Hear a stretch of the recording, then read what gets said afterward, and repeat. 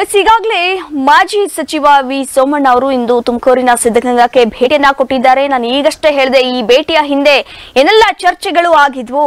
ಸಿದ್ಧಗಂಗಾ ಮಠದಲ್ಲಿ ಸಂಸದ G S Basavaraj ಅವರು ಕೂಡ ಒಂದಷ್ಟು ಹೇಳಿಕೆಗಳನ್ನ ಕೊಟ್ಟಿದ್ದಾರೆ. ಈ ಕುರಿತಂತೆ ಮತ್ತೊಂದು ಎಕ್ಸ್ಕ್ಲೂಸಿವ್ ಬ್ರೇಕಿಂಗ್ ಲಭ್ಯವಾಗ್ತಿದೆ.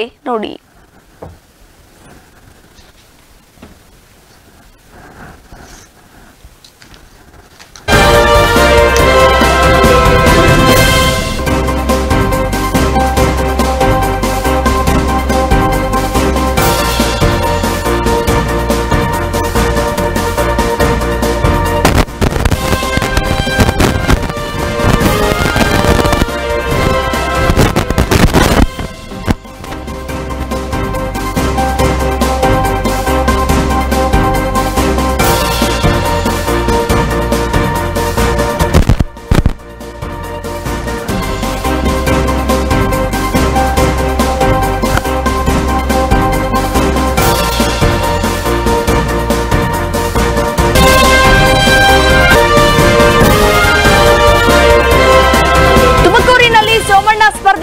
ವಿಚಾರವಾಗಿ ಮೌನ ಮುರಿದಂತಹ ಮಾಜಿ ಸಂಸದರು ಸಿದ್ಧಗಂಗಾ ಮಠದಲ್ಲಿ ಸಂಸದ ಜಿಎಸ್ ಬಸವರಾಜ್ ಈ ಹೇಳಿಕೆಯನ್ನ ಕೊಟ್ಟಿದ್ದಾರೆ.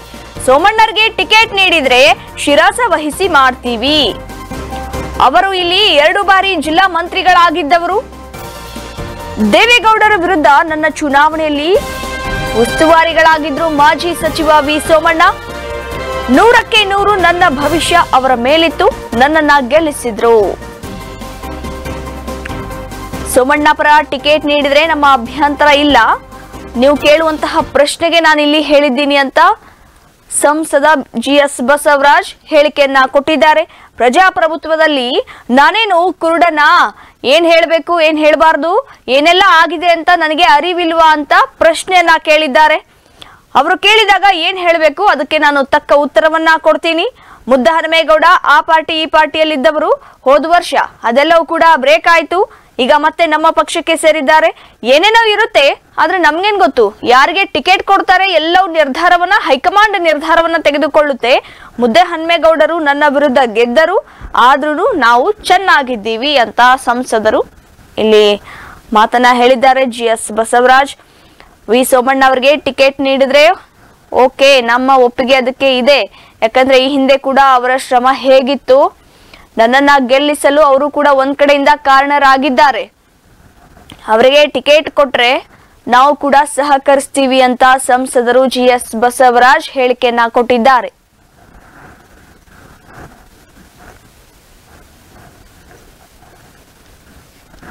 ಸರ್ ಈಗ ನಂತರ ಯಾರು ಸರ್ ರೀಪ್ಲೇಸ್ ಪಾರ್ಟಿ ಯಾರಿಗೆ ಕೊಡ್ತಾರೋ ಅವ್ರಿಗೆ ಮಾಡ್ತಾರೆ ನಿಮ್ಮ ಒಂದ್ಸತಿ ಇನ್ವೈಟ್ ಮಾಡಿದ್ವಿ ತುಮಕೂರಿಂದ ಬಂದು ಅವರಿಗೆ ಮಾಡಿ. ಅವ್ರಿಗೆ ಶಿರಸ ವಹಿಸಿ ಮಾಡ್ತೀವಿ.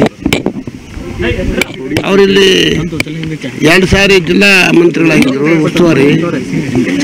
ನನ್ನ ಎಲೆಕ್ಷನ್ ಇನ್ಚಾರ್ಜ್ ದೇವೇಗೌಡರ ಮೇಲೆ ಬಂದಾಗ ನೂರಕ್ಕೆ ನೂರು ನನ್ನ ಭವಿಷ್ಯ ಅವ್ರ ಮೇಲೆ ಇತ್ತು. ಅವರೇ ನನ್ನ ಗೆಲ್ಸಕ್ಕೂ ಕೂಡ ಕಾಣ್ರ ಏನಮ್ಮ ಪ್ರಪಂಚದಲ್ಲಿ ಅಲ್ಲರಿ ಪ್ರಜಾಪ್ರಭುತ್ವದಲ್ಲಿ ಕೂಡ ನಾನು. ಅವ್ರು ಕೇಳಿದ್ರೆ ಏನು ಹೇಳ್ಬೇಕು ಹೇಳ್ಬೇಕು ಉತ್ತರ ಹೇಳ್ತೀನಿ ಸರಿ ಈಗ ಅವ್ರು ಡೆಲ್ಲಿಗೆ ಹೊರಟವ್ರಂತ ಏಳನೇ ತಾರೀಕು ಮೇಲೆ ನೀವೇನೋ ಅವ್ರ ಜೊತೆಗೆ ಹೋಗ್ತಿದ್ರ ಡೆಲ್ಲಿಗೆ ಅಂತ? ನಾನು ಡೆಲ್ಲಿಗೆ ಇರ್ತೀನಲ್ಲ ಅವಾಗ. ಪಾರ್ಲಿಮೆಂಟ್ ನಡೀತಾ ಅವ್ರ ಜೊತೆ ಹಂಗಾರೆ ಬ್ಯಾಟ್ ಬೀಸಿರಿ ನೀವು ಅವ್ರ ಪರವಾಗಿ ಲೋಕಸಭಾ ಚುನಾವಣೆಗೆ. ಯಾರು ಬೀಸೋದು ಗೀಸೋದಲ್ಲ ರೀ. ಡೆಲ್ಲಿನಲ್ಲಿ ಹೋಗಿ ನಾನು ಇವ್ರಿಗೆ ಸೀಟ್ ಕೊಡಿ ಅಂತ ಕೊಡ್ತಾರೆ. ಅದಕ್ಕೆ ಒಂದು ಪಾರ್ಲಿಮೆಂಟ್ರಿ ಬೋರ್ಡ್ ಇದೆ ನಿಗಮ ಇದ್ದೇವೆ. ಅದರೊಳಗೆ ನೀತಿ ನಿಯಮ ಇದ್ದಾವೆ. ಅದು ಯಾವ ರೀತಿ ಅಂತಕ್ಕಂಥದ್ದು ಹೈಕಮಾಂಡ್ ತೀರ್ಮಾನ ಮಾಡಿದ್ರೆ ಕೊಡ್ತಾರೆ. ಬಿಜೆಪಿಯಿಂದ ಬಿಜೆಪಿ ಇಂದ ಕಾಂಗ್ರೆಸ್ ಇಂದ ಕಾಂಗ್ರೆಸ್ ನಾಯಕರಲ್ಲಿ ತುಂಬಾ ಅವ್ರಿಗೆ ಇನ್ವೈಟ್ ಅವರು as on today is in B J P ನಾನು ಬಿ ಜೆ ಪಿಯಿಂದ ಅಭ್ಯರ್ಥಿ ಅಂತ ನನ್ನೇ ನಮ್ಮನ್ನು ಹೇಳವ್ರೆ. ನಾವು ಅದರಿಂದ ಅವ್ರಿಗೆ ಯಾಕೆ ತಿರ್ಗಾ ಬೇರೆ ಎಲ್ಲಿಗೆ ಅಭ್ಯರ್ಥಿ ಸರ್? ಹಾಕ್ಯಾನ ಎಲ್ಲಿಗೆ ಅಭ್ಯರ್ಥಿ? ಅಂತ? ತುಮಕೂರಿಗೆ ನಿಲ್ತೀನಿ ಅಂತ ಹೇಳವ್ರು ಮೊನ್ನೆ. ಅಲ್ಲ ಸರ್ ಈಗ ಕಾಂಗ್ರೆಸ್ನವರು ತುಂಬಾ ಅವ್ರನ್ನ ಇನ್ವೈಟ್ ಮಾಡ್ತಿದ್ದಾರೆ. ಹೇಳ್ತದೆ ನನ್ನ ಕರೀತಾರೆ ಗೊತ್ತಾ? ಹೋಗ್ತೀರಾ ಸರ್ ನೀವು? ಅಲ್ಲಿ ಏಜ್ ರಿಸ್ಟ್ರಿಕ್ಷನ್ಸ್ ಇದೆ ಬಾ ನಮ್ದು ಏನಿಲ್ಲ ನಿಮ್ಗೆ ಕೊಡ್ತಿ ಗೆದಿತಿ ಅಂದ್ರು. ಯಾರು ಸರ್ ಕರೆದಿದ್ದು? ಹಾ ಕರೆದಿದ್ದಾರೆ ಅವ್ರು ಹೈಕಮಾಂಡ್ ಇದಾರಲ್ಲ. ಅಲ್ಲ ಇಲ್ಲಿ ತುಮಕೂರ ಕರೆದ್ರೆ ತುಮಕೂರ ಯಾರು ಕರೀತಾರೆ ನಮ್ಮನ್ನು ಮಾತಾಡ್ಸಲ್ಲ ಅವ್ರು.